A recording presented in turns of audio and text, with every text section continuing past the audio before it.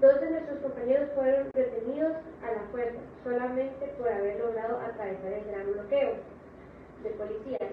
Los estuvieron del cuello, los golpearon. Esto es una violencia directa a derechos humanos que han sido históricamente defendidos en nuestro país como el libre tránsito y la protesta. Gracias.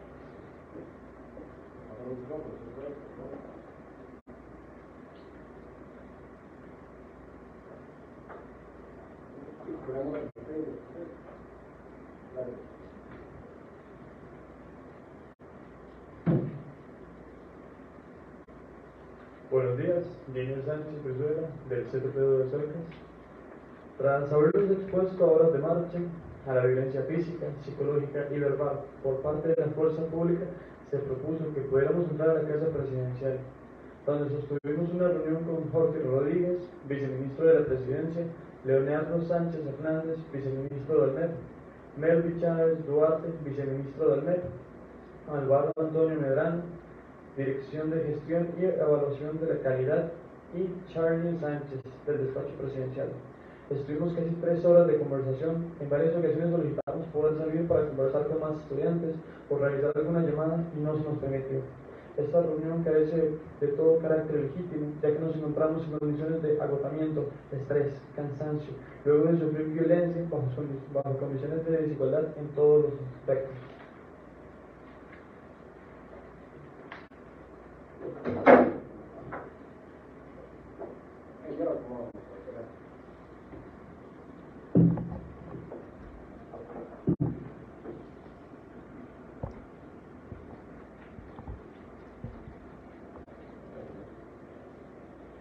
Buenas a todos, eh, Juan Manuel Miranda Barrantes del Liceo de Calle Es por eso que rechazamos que se utilice un acuerdo firmado bajo presión que busca desmovilizar nuestras demandas honestas de suspensión de las pruebas estandarizadas para este año. Ese documento carece de voluntad política y capacidad de parte del Ministerio de Educación Pública de atender la urgente crisis educativa que atraviesa nuestro país. Hoy denunciamos el abuso del poder y el uso de la fuerza que se ejerció el lunes a estudiantes. Hacemos un llamado a sectores sociales, organizaciones, pueblo costarricense. Tenemos un presidente que golpea a estudiantes, que solo queremos tener una mejor educación. Hoy el mundo mira cómo nuestra democracia corre riesgos. Bajo el gobierno de Rodrigo Chávez no podemos permitir estos niveles de violencia que son tácticas para que tengamos miedo y perdamos la fuerza. No cederemos y seguiremos nuestras acciones de protesta como un derecho legítimo hasta que sean eliminadas las pruebas estandarizadas. Que no los engañen, el movimiento estudiantil seguirá en las calles y en la lucha hasta que se suspendan estas pruebas carentes de rigor técnico y responsabilidad con la comunidad educativa de este país. Gracias.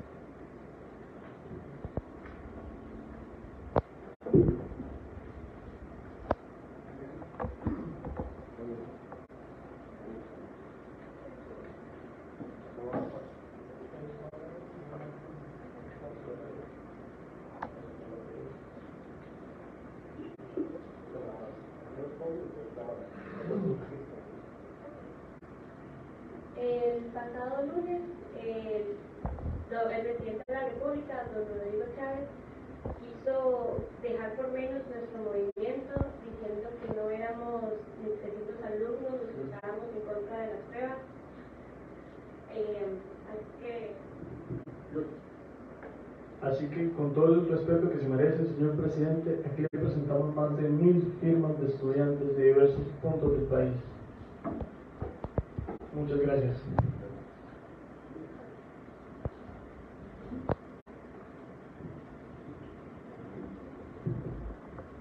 Muchas gracias. Eh, ahora abrimos un espacio de preguntas para personas de, de la prensa que quieran hacerlas. Y bueno, y ahí ustedes dicen si quieren preguntar a alguna estudiante en específico.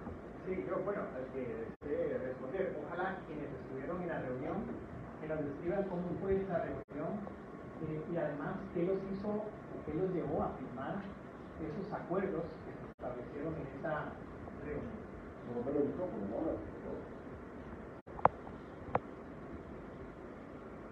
Bueno, como les comentábamos en lo que les acabamos de, leer, este, este día se vivió mucha violencia en las calles, ya que ni siquiera nos dejaron pasar. Lo que comentan de que nos recibieron, eso es completamente mentira. Duramos ahí afuera como aproximadamente tres horas o más y ya cuando nos hicieron ingresar no nos dejaron entrar con algún asesor o con alguna persona que nos acompañase.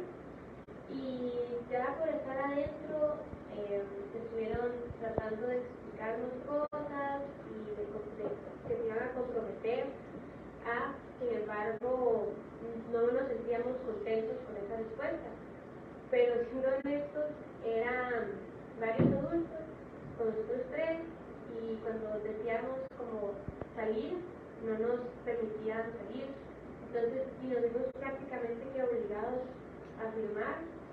Yo en lo personal sí me sentía muy, muy violentada, muy hostigada, podría decir, que yo no me sentía bien, pero teníamos que mantener la cordura, ya que necesitábamos que necesitamos que nos tomen en serio, que todo este movimiento es en serio, es una mejor educación en Costa Rica, no es en contra de que no de que no nos da la gana, ¿verdad?, hacer una prueba. Eh, porque esa prueba es una prueba más de que, de que la educación costarricense es suficiente. Entonces, fueron dos horas y resto, casi tres o tres, en las que estuvimos ahí callados, escuchando, escuchando y escuchando cosas y no nos dejaban pues, salir. Entonces fue casi que obligatorio firmar. Yo me preguntaba si yo me necesito firmar, ¿será que sí voy a poder irme a? Yo tengo varias preguntas. Mi nombre es Alberto Fabio, el canal 7. Primero, para mí fue un error que ustedes firmaran algo que ustedes no saben qué es lo que firmaron exactamente. Usted misma lo acaba de decir. Usted se escucha amenazada de algo por el que firmó. No debieron haber firmado, me parece. Segundo, ¿ustedes qué van a hacer? Bueno, ya presentaron este documento al Consejo Superior. Ya fueron a Casa Presidencial, la firmaron, y ahora qué esperan, qué van a hacer. Bueno, con respecto a lo del documento, también se nos había dicho que eso, eso era solo para dar una respuesta por mientras a nuestros compañeros de afuera. Y el nuevo documento dice que se iba a tomar en cuenta sus instituciones, cosa que no, que no sucedió. Y con el resto, no sé si.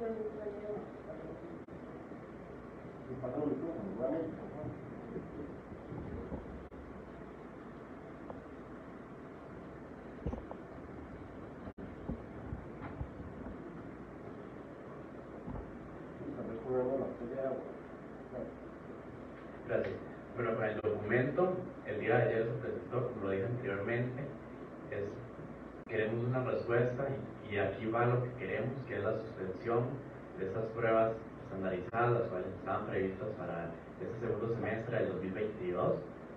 También quiero recalcar que no solo porque presentemos este documento vamos a aflojar, vamos a seguir presionando, porque no nos vamos a conformar con menos que sea la suspensión temporalmente de estas pruebas nacionales estandarizadas. ¿Qué es presionar? ¿Ustedes van a ir a otra marcha? ¿Ya tienen una fecha establecida? ¿O tienen que reunirse para ver qué van a hacer? No, no.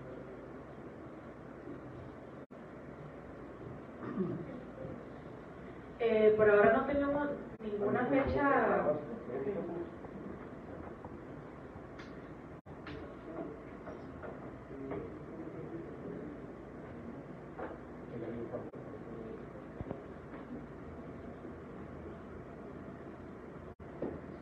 Bueno, nos tenemos que responder esa pregunta.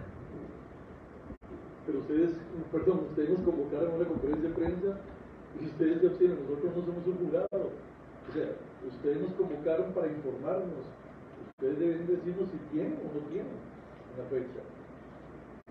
Igualmente tenemos derecho a abstenernos de preguntas, ya que eso es de organización interna y cuando tengamos cosas organizadas se va a abrir